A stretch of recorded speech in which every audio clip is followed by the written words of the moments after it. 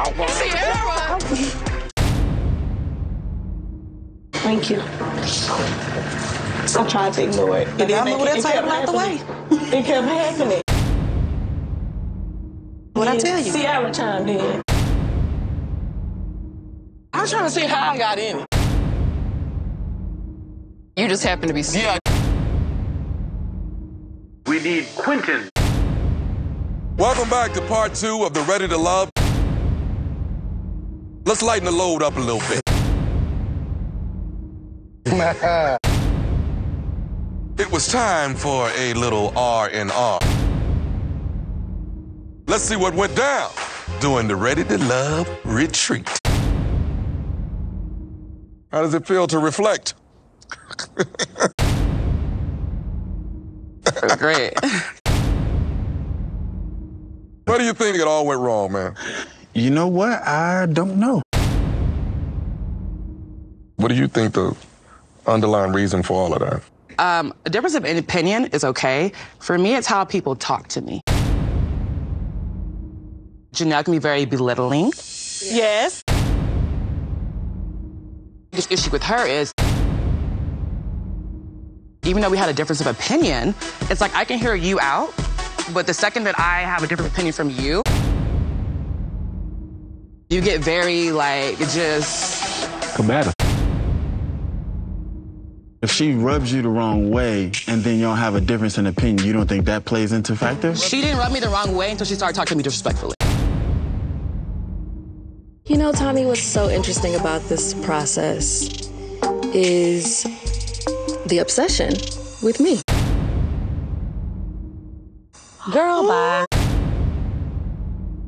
I'm sorry. Somebody spare me. Nobody is obsessed with you. My presence, by me simply walking the room, challenges their mediocrity. And that is not my problem. It's crazy talk for people who don't have connections. Everybody who has a problem with me went home. You talk so much. It's hilarious. Can I say this? Like y'all? you are Can just, I say this? you're, like, you're ridiculous. You're like the, You the are star of the show. Girl, we don't care about you. We just don't You like your do. attitude. You do, though. I don't like your attitude. You do. When you You address do me, care about have me. re-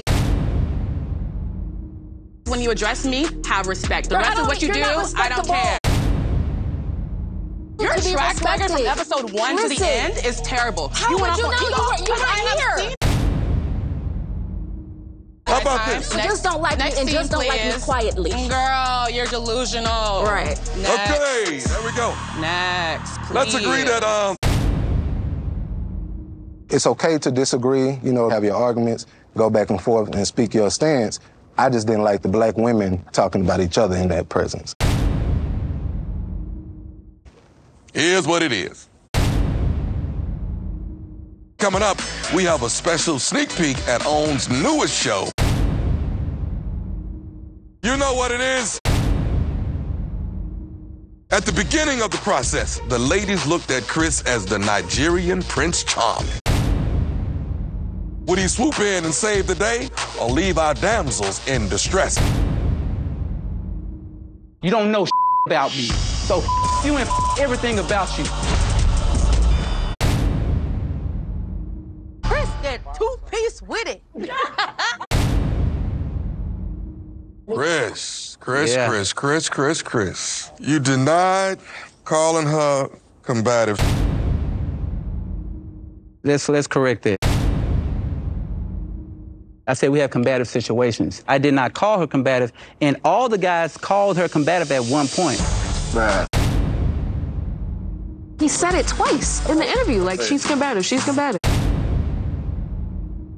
Did all the guys call her combative? Nah, Mario, come on, man. That you Hold never listen. said that she was On combative. my, on my daddy's grave, I never said that. You you ain't even being transparent and real yourself. you talk I've about never all this, said this deep black stuff, but you're not exuding it. I How? don't don't act like that. You legit just said, bro. We had this combative moment, we had this combative moment. I think it's a little combative. And then in the day, you said you are combative. Clearly, you said this. What I see that I did not see is how we spoke to the sister. That you got to understand Ab- that's out of line. Absolutely, and that's why I apologize to her. And even to this day, right now, I will apologize for what I said. I'm never going to apologize for how she made me feel. Why were you emotional? Because I'm sitting in front of someone that has no regard. What is she saying that's triggering this? The bullying, the an- an- antagonistic behavior throughout the whole process. But is it throughout the whole process? Because we, you guys were a connection at the Yes. beginning. Did I not say that? Did I not say? Hold on. Did I not say that? Oh, okay. They mutes. Got it. Oh, we're not, we're not mutes, sweetheart. I We're listening to the conversation. I just asked. I don't have to answer you when you ask. You're my mom. At the end of the day, let's just agree to disagree. But let's agree on this that we got to speak to our sisters the right way. At all times, we got to speak to our women with the utmost respect. Even though where the magnitude it went to, she still doesn't deserve me saying that. My feelings were true, and I can't deny that. I was Like, really going there, but you, you Okay. just you won't let me finish. Let's leave it where it nothing. is. Let's just leave it won't where let it is. Stay tuned. We'll be checking in with Kira. Things are about to get spicier than a Texas chili cookout. Aries came into this process, but just when her connection with Philip was just starting to feel. Let's take a look back at Aries and Phil's journey. How did it feel for you to choose Aries, but she chose herself? Were you disappointed? No. My disappointment was a week and a half before that. What made you choose yourself? I've been married twice. I'm more in a phase where I need stability, which I, he doesn't like that word, but I hate it. you have all these dreams that I might not be in the right season of my life to be there for you.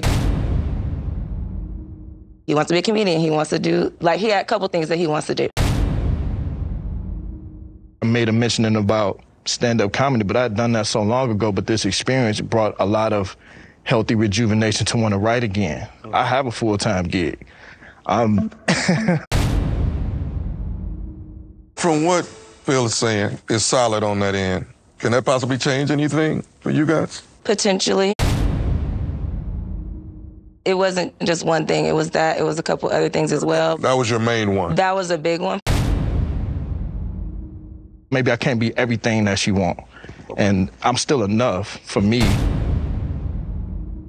You guys are still connected, still going on dates. We had a couple.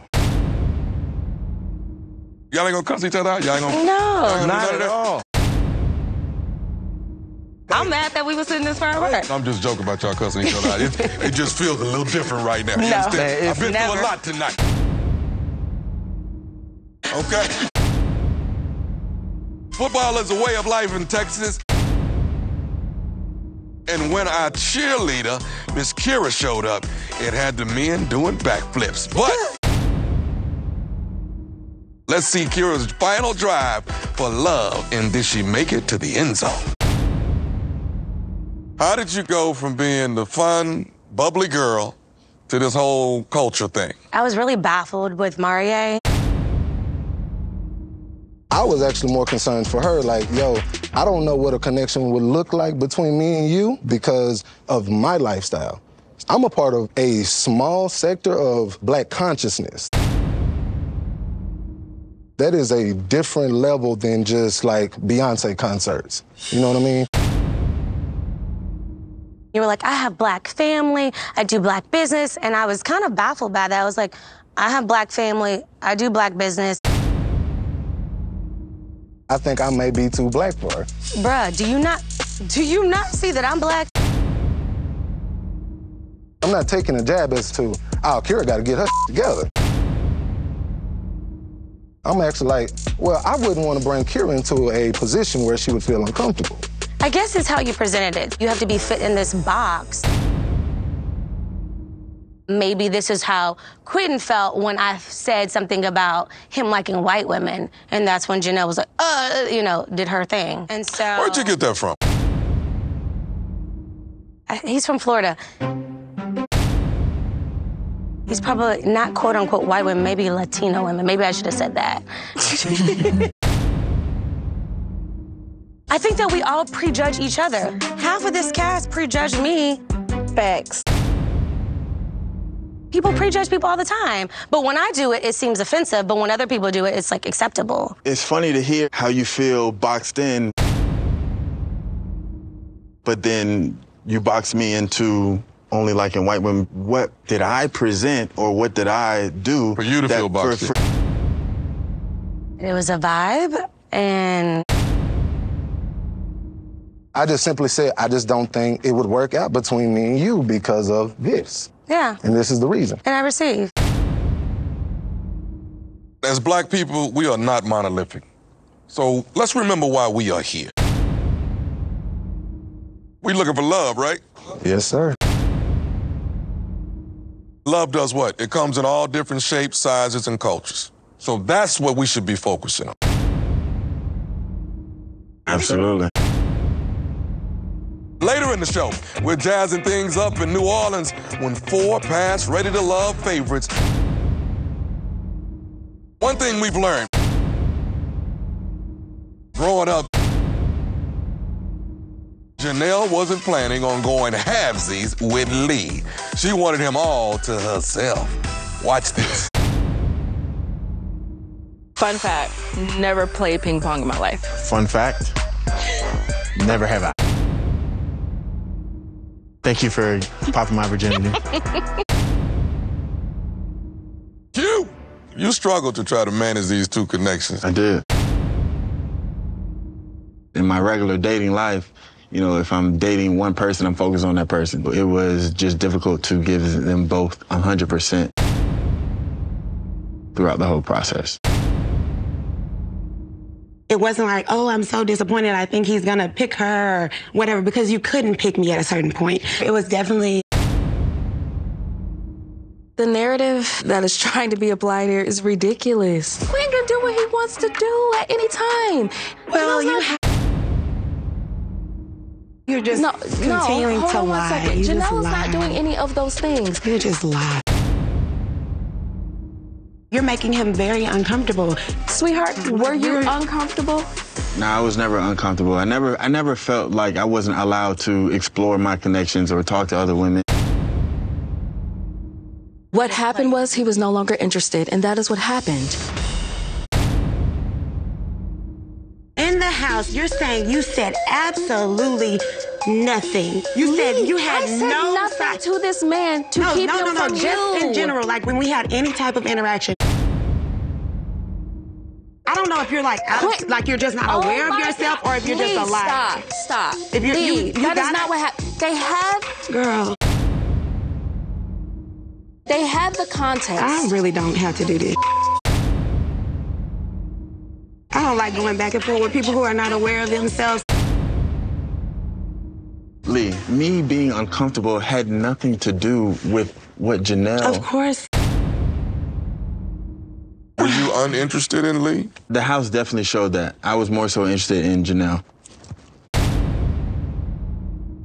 Clearly, you guys are not a connection. But tell me about you. How are you now? I'm wonderful. Um, I'm back focused on work. Okay. You tell me to make time for love and stuff. I definitely think that it will find me in due time. Did you learn something on this journey? Yeah, I about did. yourself? I stretched myself a lot on this journey. I wish you well in your search for love. Thank you, thank you. Keep searching. Let's see if they kept their eyes on the prize or just couldn't cross that finish line. What was it about Quentin that drew you in at the beginning? Quentin and I, we quietly met at the mixer. I genuinely laughed with her, and I hadn't really laughed like that throughout the whole mixer. And then so it was What made this this spark come together? It was easy. it was easy. Effortless, huh? We just didn't have the issues. We didn't spend a lot of our time in correction mode. Facts. Janelle, did you have any doubt that you would choose him and he would choose you? There was a moment where um, Herbert was up for elimination, and Quentin was up for elimination too, or, or so I thought. And I was so worried about Quentin. When I'm around him, I'm very like schoolgirl giddy. I'm like, oh, Quentin. One of the biggest things that attracts me to Janelle is her aura. When she walks in a room, you put us together and it was just electric. Like, I hate to use that like term, but I don't think there was ever. Okay. What's the status of your relationship now? Oh, I want to see this.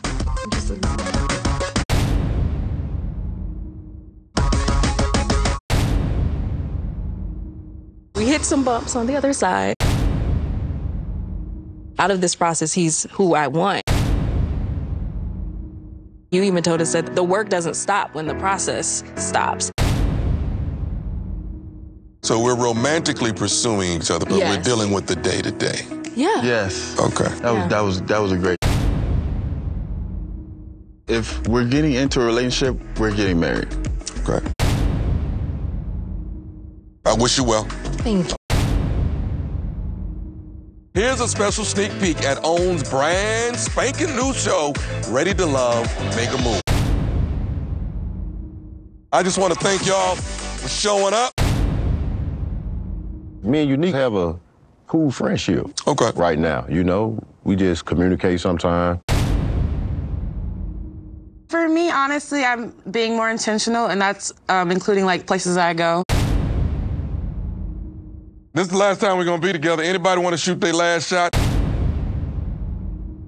Is this exclusive? I hope I look back and hear some wedding bells. I DJ y'all reception. I'm playing sax, bro.